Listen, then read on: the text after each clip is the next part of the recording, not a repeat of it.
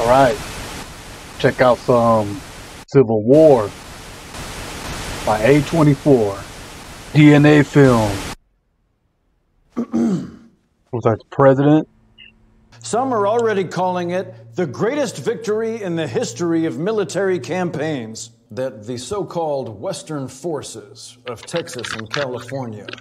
I remember reading the reviews and comments on this movie, and people couldn't believe people couldn't believe that Texas and California would ever be uh, allies. But money will make you allies, and those two states are the richest states in the United States of America. California is the richest state by far, but Texas is, is a close second. So they would have the most to lose and maybe the most to gain. Well, I believe it's possible for them to be um, allies. I can also confirm that the Florida Alliance has failed in its attempt to force the brave people of the Carolinas into joining the insurrection. The Florida Alliance. Of resistance. Civil War. Reminds me of uh, 2020. Thank you so much.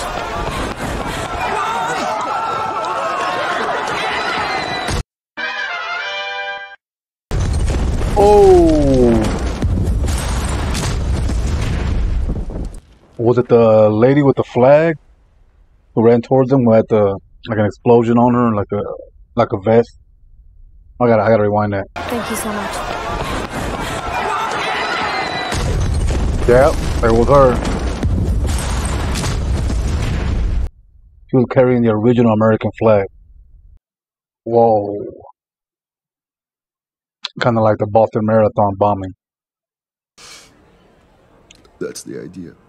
What the fuck are you talking Is that weed or uh, a serious? cigarette? They shoot journalists on sight in the Capitol. They literally see us as enemy combatants. That's a little jab at uh, you think there's a rush Trump to get it? because he didn't like the media. Ooh, a brick to the head and a bullet. So she's seen some stuff. Snipers at the top of New York skyscraper. 857 miles to DC. Long drive. Whoa. Mr. President, do you regret any actions implemented during your third term in office? In retrospect, Mr. President, do you still think it was wise to disband the FBI? Passive aggressive. Oh man. Sir, how is your policy Another evolving jab in the at- use of at Trump. airstrikes Gotta look the fuel permit. No, we're we A actually just fuel passed permit. 300 buys you a sandwich. 300 Canadian. Oh, for Canadian money, it's worth more. Man. The atrocities of war. How are they? Looters. Oh. Still alive, too. guys. I'd like to take your picture. Don't do it. It'll become evidence later. Okay. Oh, Stand man. over there. Yeah. You need to understand. Oh, Lord. Back seat is both kindergarten and an old people's home. How did this happen? I like the visuals, man. It's like a good place It's trippy looking at that. Just pull it. If the United States of America is at war with itself, wouldn't that be the perfect time for like their enemies to invade? With China, Russia, North Korea, even Iran. Yeah, it is weed. Look at that. They're sharing it. Thanks.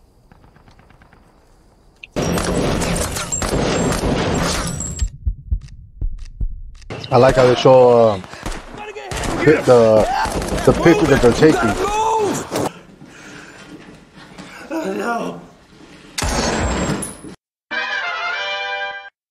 Oh man. So with the music, you gonna execute them? Yeah. 289 miles to DC. Who's that supposed to be? Your press? Global Yes. Relief Fund. Legendary photo of the Antifa massacre. Oh, Then Antifa he became the massacre. youngest ever. Exposure's all wrong. Is that a real thing? Where you could run uh film through your phone and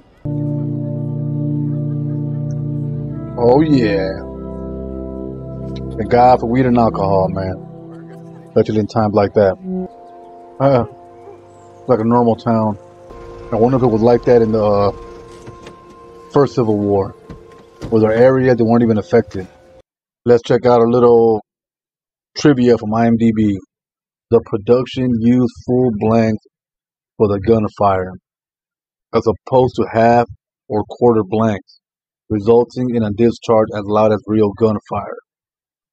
Alex Garland told a reporter at the premiere that the pairing of California and Texas was, in part, to obfuscate the politics, but more importantly, that these two states put aside political differences to challenge an unconstitutional, fascistic, fascistic, and corrupt president who was killing American civilians. He said, Are you saying extremist politics would always remain more important than a president of this sort? That sounds crazy to me. Yeah, I like that. Okay, I'm telling you, because California and Texas are the richest states, they would have the, the most money. With money, you would have more military power, more military might. So you, you go, you could go up against the United States government. I said, yeah, I like that. I thought it was, I thought it was because of money, but no, I like the way he put it.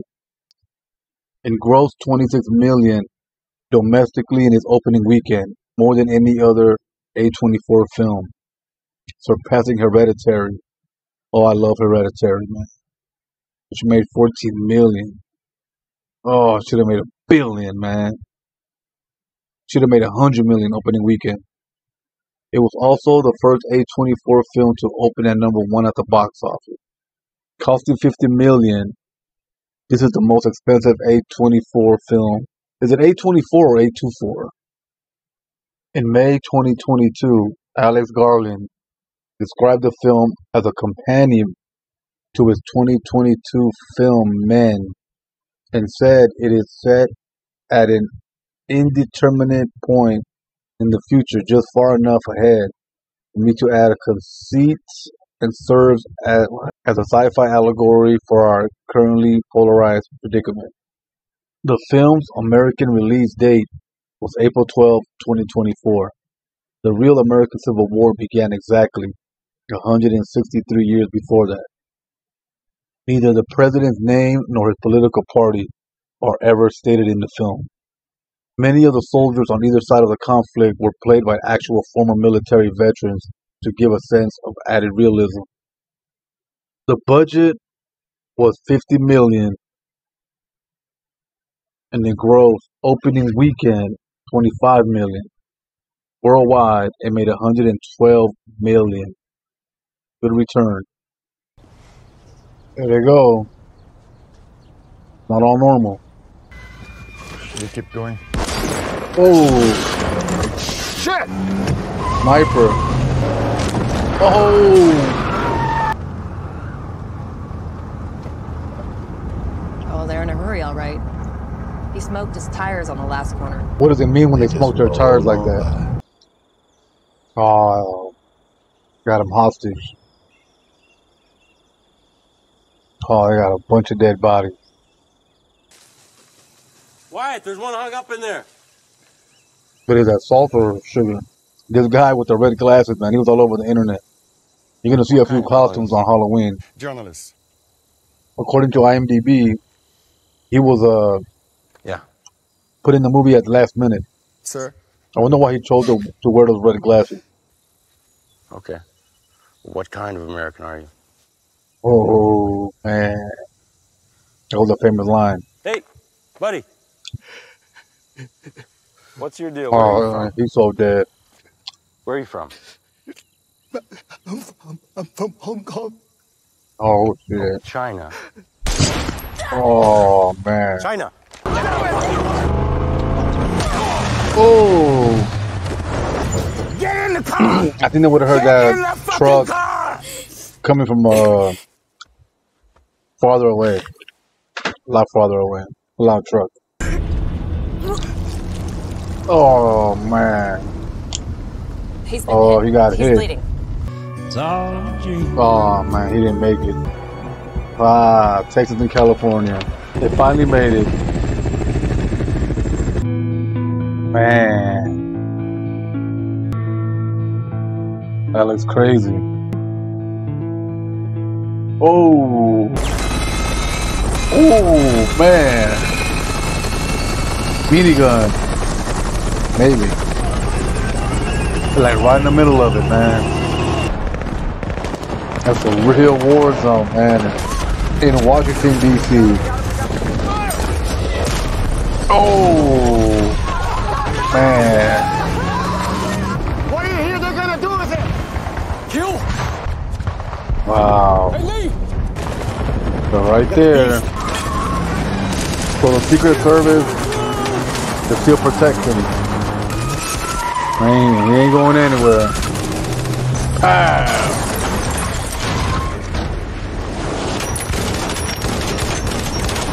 Hey, lighting it up. Man, no capture, no prisoner. Can the president be entrusted into your safe care? Yes, ma'am. We'll take real good care of him. Just bring him out here. We're not bringing him anywhere. We need a guarantee of safe passage for the president, and we need extraction to a neutral territory. We request Greenland or Alaska. Nah, no terms. Greenland or Alaska? We got him. The president is willing. Well, Gunner, point! There you go. Moving! Oh man, she's gonna get shot. Oh, she just wants the perfect picture. Yeah. Oh, well, she got it. She got it. hit. She's even ignoring her. She wants. She wants that picture of the president getting captured. I need a quote.